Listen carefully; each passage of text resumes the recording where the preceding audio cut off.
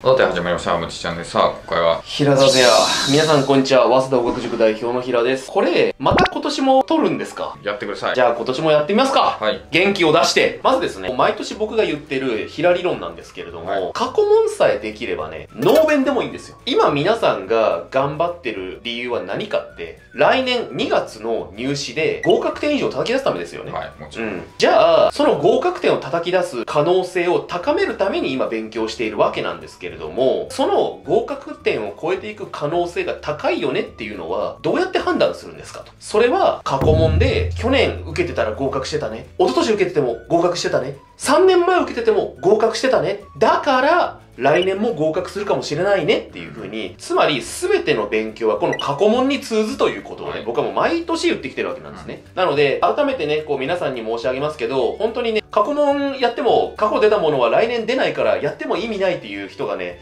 まだね、一定数いるんですけれども、もうね、愚の骨頂です。そんなこと言ったら、じゃあ、県大会本番では何々高校とは当たらないから練習試合しても意味ないとか、そんな理論になっちゃうんで、違うでしょ。確かにね、全く同じ問題は出ないかもしれないしれないけど、でも、全く同じような問題しか出ないっていうところもありますので、なので、えぜひね、過去問でこう結果を出すためのね、こう勉強していただきたいと。今日はね、そこのね、こう話をね、いろいろ深掘っていくわけなんですけれども、まあこの森鉄イングリッシュチャンネルでもね、もうずっと言い続けてることなんですけれども、過去問は、石の上にも3年分って僕はずっと言い続けてます。はこれはまあうちの塾でデータを取ってる部分でもあるんですけれども、しっかりと丁寧に勉強していくと、大体皆さんの結果が合格ライン以上で一定程度定着し始めてくるのが4年目からなんですね。要するに1年目とか2年目ってやっぱりなかなか初めてやったみたいな感じで、しかもそれまでやってた問題集って基本的にこう大問1個をね30分以内に解いて解説見てみたいなところだと思うんですけど、90分とかでもう4つとか5つの大問を一気にやらせられるってなかなかないわけですよ、過去問やるまでは。だからいざ本当にやってみると、やはりね、この集中力と体力を維持するのがなかなか厳しかったりするから、正答率が落っこちたりもするんですよ。はいはで、なんならいつもやっている問題集よりもちょっと字が小さかったりとか、そういったいろんなね、雰囲気の変化からも、やっぱりちょっとうろたえて、で、判断力が落ちたり、観察眼が落ちたりもするもんなんですよ、人間っていうのは。で、それがちょっとずつちょっとずつ馴染んでくるのが3年目以降からっていうところだったりするのでなるほど、まあ1年目、2年目は本当にもうなんかね、平均点ぐらい取れたら万々歳だと思っていいと思います。うん。その代わり、間違えたものは、丁寧に勉強していくんだよ。解説もしっかり見るんだよっていうようなこととかでね、こうやっていくんだっていうところ。これがすごく大事です。で、まあ別動画でも申し上げたんですけど、最近はね、赤本の英語の解説がすごくいいと思ってる僕は。とてもクオリティが上がったなと思っていて、本当にね、こう自信を持ってなんか勉強していっていただきたいなと思うわけなんですが、とはいえね、過去問集、なかなか特に国語とか社会科とかね、全てが全て分かりやすいかっていうと、そういうわけでもございません。やっぱ過去問にちゃんと入れるだけのコンディション作り、この前段階の部分っていうのがすごく大事だったりもするんですよね。だから、あくまでもこれまで一生懸命勉強してきた人が望むのが過去問なんだって、これもまあね、分かっておいていただきたいなというところでございます。まあ、じゃあ過去問やっていきますよっていう中で、まあちょっといろいろといろんなコツを話していくんですけれども、大事なこと。解説って必ずしも分かりやすいものばっかりだったりしません。特にね、英語以外の科目に関しては、本当に問題集とか参考書の方が全然分かりやすいです。これもうしょうがないです。だって、分からせるための本が問題集であり参考書なんで、うん、やっぱり過去問集ってなると、解説にそこまで力が入ってなかったりすることも多々あります。特にマーチラインとかね、なってくるとね、もう無茶なものもあったりします。もう仕方ない。それは。ひどい過去問の場合、ひどいっていうかまあ、はっきり分からない過去問解説の場合は、それをヒントぐらいにして、自分で考えて、回答と解説との間を自分で繋いであげるイメージであげてください。あの解説は解説じゃないんだと。ヒントなんだぐらいに思って、答えとヒントの間を自分が培ってきた力で繋ぐんだ。このイメージでね、やっていただきたいということで、で、これってね、実は我々講師はね、もう普段からやってるんですよ。要は、大学入試の過去問とかから問題をね、抜粋して、でこう自分で解いてみたりとかして、答え合わせとかして、まあ当然まあ過去問集の解説をそのままやるかというと、そんな講師いないと思うんですよね。台本みたいにね。自分でこういうことなんだけど、ここの間にこういう知識も足そうかなとか、こういう判断のマインドの手順も伝えた方がいいなとか、そういうふうにこう自分分で自分の台本を作っていくんですよね。解説をヒントぐらいにするというかね、お手本にはするかもしれないですけどね。っていうことをやってるので、まあ、皆さんもなんか我々一人一人の講師ぐらいな感覚で、解説はヒントで正解がある。この間を自分が培ってきた実力で繋いであげるんだっていう、このイメージでやると、結構過去問との付き合い方っていうのがうまくいくよっていうのが、これがまず1点ってことですね。うん、いかがですか、森田先生は？うん、それはそうでしょうとは思うんですが、まあ丁寧にやらない人が多いからね。う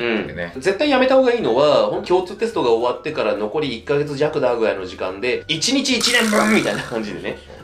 違う違う違う。まだこの時期だったら間に合うから、せいぜい1週間で2年分ぐらいでいいです。で、コツなんですけど、これ2年分って言ったんだけど、僕が一番おすすめするのは、ある程度志望校を散らしてください、やるところ。例えば、今週は、早稲田小学部と明治経営学部をやろうとか、今週は、慶応の小学部と明治の小学部をやろうとか、ね。そんな感じで、こう、ある程度、早稲田慶応ラインと、まあ、あっちラインとかで、こう、散らしながらやっていってほしいということ。要はね、第一志望とかっていうのはある程度みんな頑張って年数積むんだけど、第三志望ぐらいからになってくると、本当に手薄になったりとかして、最後の最後、うわ、1年分しかやってねえみたいなことになったりするので、はっきり言うけど、やっぱ人の実力がある程度熟成されていくのには時間かかるんですよ。熟成だから。だから、今、早稲田の法学部1年分やったものが、じゃあしっかり復習したからといって、来週しっかり実力になって現れてくるかというと、そういうわけではないんですよ。やっぱりね、いろんなところをある程度散らしながら回っていく中で、この時やったものも、よりこうなんか盤石な力になっていったりするので、ある程度散らしながらやっていって、で、またね、こう、第一志望のものとか、あの時のものにまた戻ってくるとかね、そういう形でなんかこう、過去問やってほしいなと思います。はい、熟成させて、慶応の熟成になってください。はい。俺がすげえさ、いろいろまともなこと喋ってる中で、あなたギャグしか考えてないのね。はい。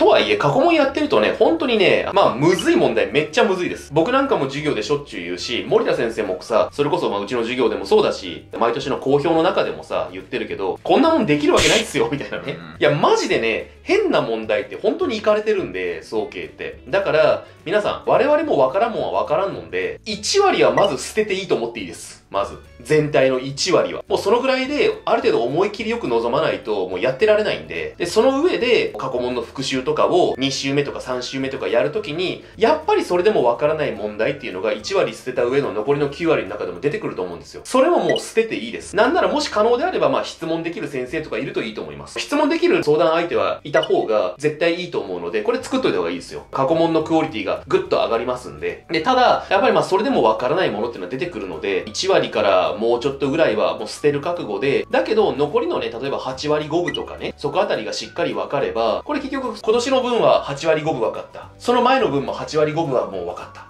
その前の部分も8割5分は分かったみたいなことが積み重なると、結構ね、大きなね、理解や経験値が積まれるので、まあ1割とか1割5分くらいはもう捨てる勇気を持って、なんか過去問とは向き合ってください。その代わり、それ以外のものでできなかった問題とかに関しては、完成度をね、毎回毎回高めていくんだって。その1問が似たような問題しか出ないから、その1問が先の5問、10問に繋がっていきますからね。ということです。でね、ちょっとね、これね、まあ、また自分の塾の話になるんですけれども、早稲田合学塾は、この11月から生徒たちに対して、通称、日々大っていう勉強法を進めてます。日々大？うん。これ何かっていうと、うちの子たちは8月ぐらいからちょっとずつ過去問に触れるんですね。で、ちょっとずつちょっとずつやってきた中で、やはりこう、それなりに丁寧にやらせながらも、出来が悪かった大問とかがあるんですよ。あの時のあいつみたいな感じで。そういったものを優先的に、毎日各科目1大問ずつ。だから、まあ、国語、英語、社会とか国数 A だったら、まあ、毎日3大問ですね。各科目1大問ずつ。60分、1時間と時間を決めて、復習をやらせます。例えば8月にやったものや9月にやったものとかを、この11月とかにね、やっていくと、これ何が起きるかっていうと、まず毎日無理なく復習ができるっていうことが1点あるということ。結構あの時必死でやってたものを、今ある程度また力が練られて、でしかも時間置いて余裕がある状況で、リラックスして改めて向かってみると、また見えてなかったものがたくさん見えてきたりもするんですよ。なので、ぜひこれやっていただきたいと。で、例えばだけど、11月、12月、1月と毎日日々代をやったら何が起きるか。約90日間かける3で、270台も復習しちゃうんですよ。もうね、負けようがないって。だから、ぜひ真似してみていただきたい。そして、今回はこう過去問のやり方っていうことと、それからこれまでやってきた過去問や学さんの復習の話みたいになってくるんだけれども、復習の4原則っていう話があります。ほ復習ってね、日本史とか世界史だとさ、覚えてみたいなところがあったりするし、英単語だったら覚えてみたいなところがあって、割と楽にこう復習ができるんだけど、それだけじゃなくて、復習ってね、こうすると大体うまくいくよみたいなのがあって、それがまず何かっていうと、皆さん、国語とか英語もそうなんですけど、答えを覚えててもいいです、数学も。答えを覚えててもいいから、どういう風にヒントを拾って、どういう風に考えてこの答えを選んだか、この答えを書いたか、導いたかっていう、その解放プロセスを自分の力だけで思い出してみてください。第2に、解説を見て理解し直してください。この理解し直すという作業すごく大事です。復習なんでね。で、第3に、この一つ目、二つ目のことをやりながら、自分みたいな生徒に、自分が今からこの問題を教えてあげないといけないみたいな。で、自分みたいな生徒だったら、この解説のこの部分、こういう風な言い方とか、こういう風なところまで掘り下げて解説してくれると納得するかなとか、こう思い出しながら自分みたいな生徒に教えてあげることをイメージするわけですよ。あ、ここでここに、こういうことに気づくんだよ、みたいなことを言ってあげると、俺みたいな生徒は、あ、なんかちょっと感動するかなとか、そういうこう自分みたいな生徒に納得させるイメージを持つと、これ教えてあげるつもり勉強法みたいなことで、非常にこう科学的にも効果が高い勉強法として知られてますので、自分みたいな生徒へのイメージ。そして第4に、これはまあ日本史や世界史とかは特にそうなんですけど、あとはまあ物理科学もそうか。まあその問題を解いてみての、その問題ができるっていうことだけじゃなくて、周辺の知識とかもあったりするわけなんですよね。その周辺の知識事項も一緒に補強すると、アウトプットからのインプットって定着度がすごく高いので、ぜひね、この周辺知識の補強もやってあげるということ。この解放プロセスを自力で思い出す。解説を見て理解し直す。自分みたいな生徒が納得してくれるイメージ。そして周辺知識の補強。この4つをやってると、大体復習のクオリティってグッて上がりますんで、ぜひね、ちょっとこう実践してみていただけたらと思います。これは役に立ったんじゃないですか？あ違うことも話してますまあ確かにね、ちょっと足しましたよね。これ役立つと思うので、はいぜひとも使ってみてくださいこれ今回は平さんにですね過去問の使い方について教わりましたはいご視聴ありがとうございました Thank you for watching Thank you for watching.